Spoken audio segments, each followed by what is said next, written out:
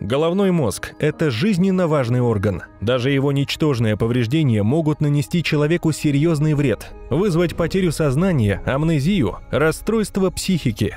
Но что, если все это не совсем так?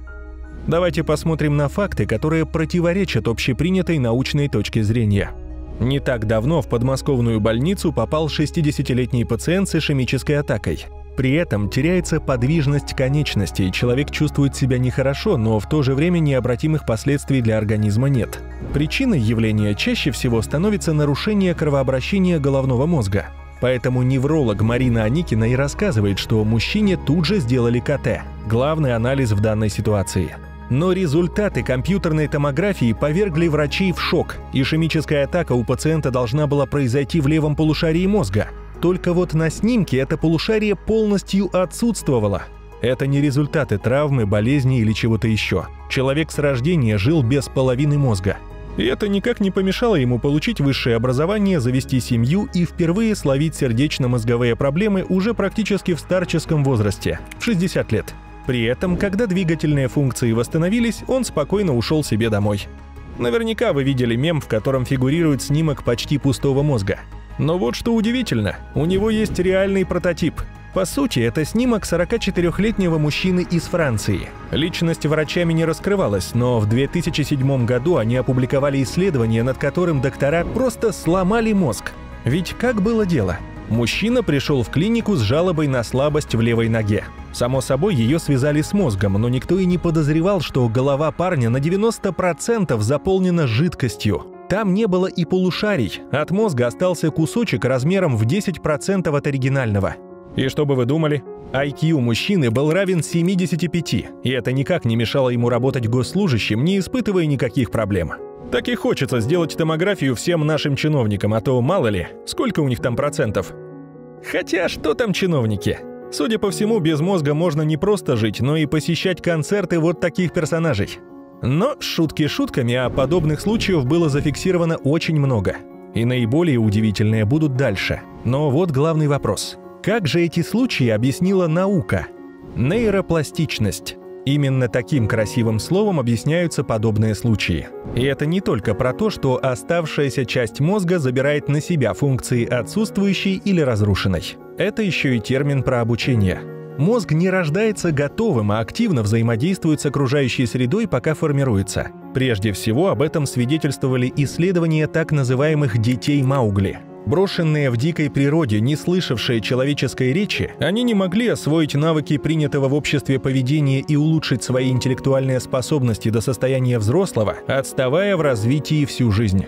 Вскоре стало очевидно, что детский мозг пластичен. Период такой податливости назвали критическим, потому что восполнить недостаток обучения в это время в дальнейшем уже невозможно.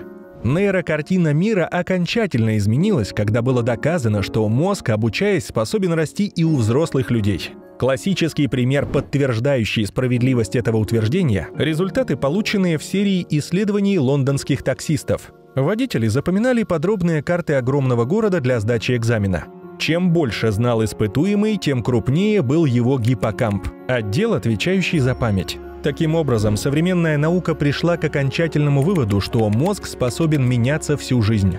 Ну а если он меняется всю жизнь, значит обучение – это естественное и перманентное его состояние.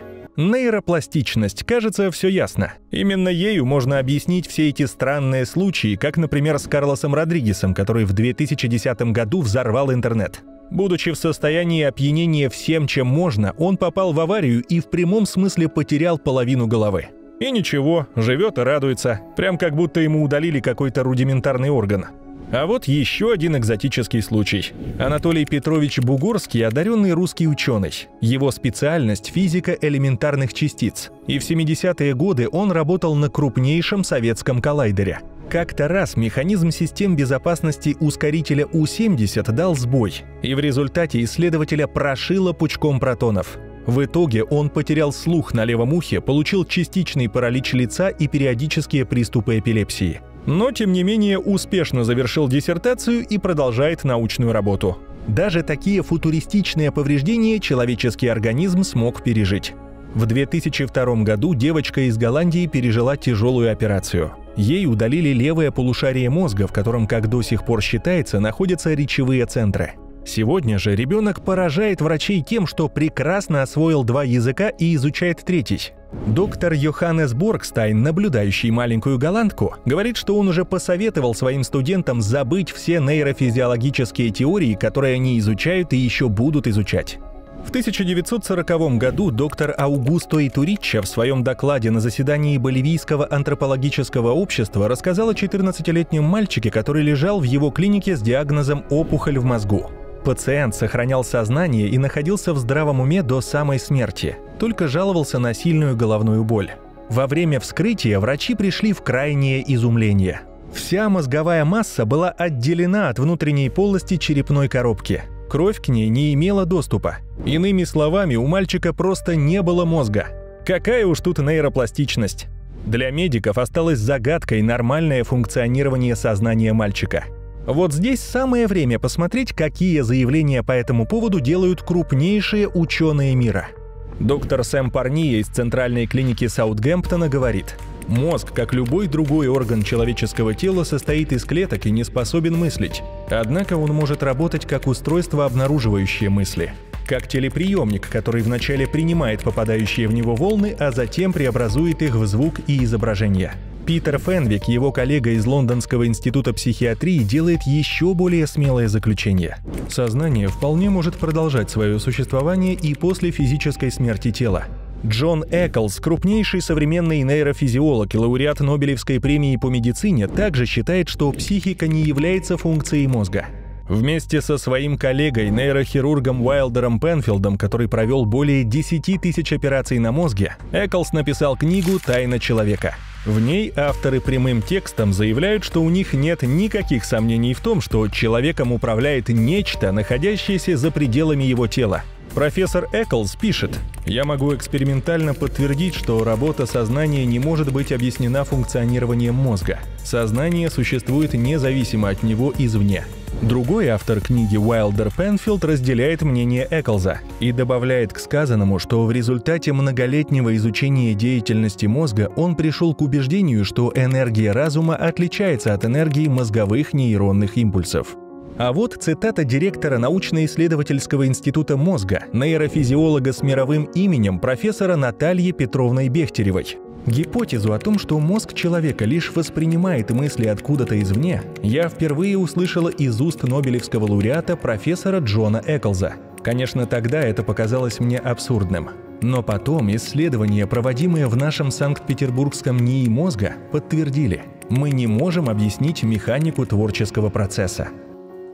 Еще два лауреата Нобелевской премии, нейрофизиологи Дэвид Хьюбел и Торстен Визел в своих выступлениях и научных трудах неоднократно заявляли, что для того, чтобы можно было утверждать связь мозга и сознания, нужно понять, что считывает и декодирует информацию, которая приходит от органов чувств. Однако, как подчеркивают ученые, это сделать невозможно – Факт, что сознание существует независимо от мозга, подтверждают и исследования, проведенные недавно голландскими физиологами под руководством Пима ван Ломеля. Результаты широкомасштабного эксперимента были опубликованы в авторитетнейшем биологическом английском журнале The Lancet.